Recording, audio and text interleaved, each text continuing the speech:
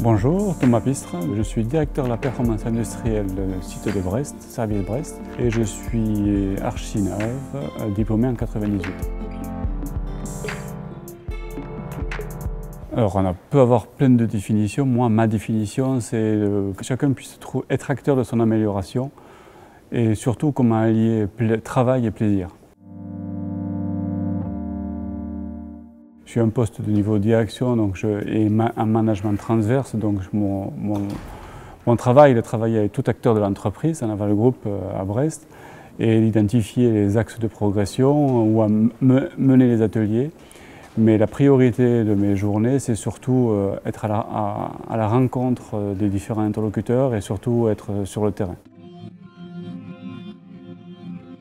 L'avantage d'intégrer dans les grands groupes, c'est qu'on peut avoir plusieurs changements dans la carrière professionnelle. J'ai commencé par faire de la production, après de la méthode de gestion de projet, du management de systèmes d'information pour faire de la politique industrielle, puis des bureaux d'études en infrastructure et infrastructure nucléaire. Donc on voit que dans un, la formation nous permet d'appréhender euh, différents axes en fait, de, la, de la composante de, de la vie d'ingénieur. Et comment arriver à ce poste-là aujourd'hui, c'est au gré euh, des, des, opportunités, tant relationnelles que professionnelles. Ce qui me passionne le plus, moi, c'est les relations humaines. Les relations humaines, l'interaction entre les différentes personnes et comment on arrive à faire prendre conscience à chacun qu'en travaillant avec plus de plaisir, on travaillera mieux.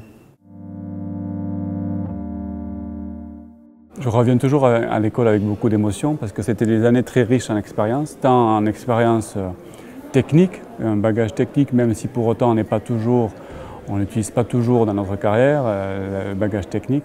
Euh, je, dis souvent que la principale règle que j'ai appris, c'est la règle de 3 qui me sert tous les jours, mais, c'est surtout d'un point de vue technique, que j'ai appris à appréhender le domaine maritime, le domaine d'architecture qui me sert tous les jours. Mais le second, axe, c'est aussi tout ce qu'on peut acquérir en plus de bagages techniques à l'école, tant au, sein du, bureau des élèves ou des différentes associations, en ayant toujours un regard, toujours une autocritique sur qu'est-ce qu'on aurait pu faire mieux et faire différemment. Et je pense que c'est ça les meilleures années et les meilleurs apprentissages.